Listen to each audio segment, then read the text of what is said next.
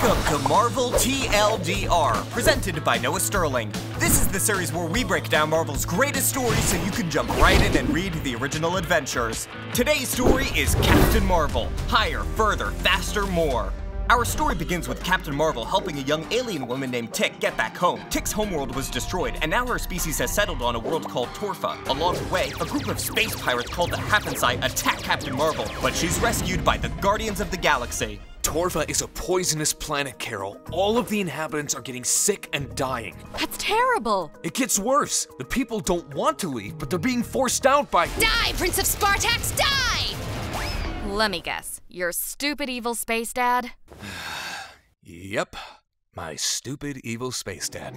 Star-Lord's stupid evil space dad, Emperor J'son of Spartax, is trying to get the refugees to abandon Torfa, but the leader of Torfa refuses to leave because they don't have the ships needed to escort their sick and dying off the planet.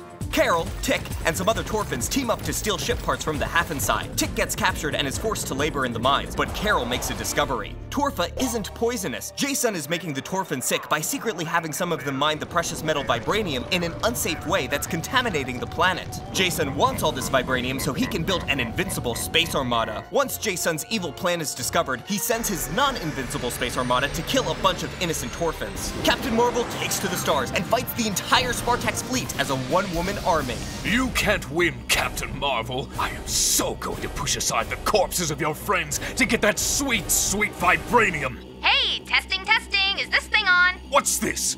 We took over the space pirate base and started broadcasting this conversation everywhere, so now the whole galaxy just heard your evil rambling. My evil plans have been broadcasted to everybody? This is the same way the Guardians of the Galaxy defeated me. How does this keep happening? The Spartax Armada turns away, Torfa is saved, and Captain Marvel flies off for more space adventures. TLDR, remember kids, being nice to your friends' parents is important. Unless those parents are genocidal space kings. Thanks for watching this video. Read the original Captain Marvel, Higher, Further, Faster, More storyline on Marvel Unlimited, on the Marvel Comics app, or in graphic novel edition wherever comics are sold.